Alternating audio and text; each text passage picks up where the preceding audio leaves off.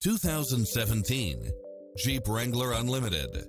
With less than 32,000 miles on the odometer, this SUV offers space as well as power and performance.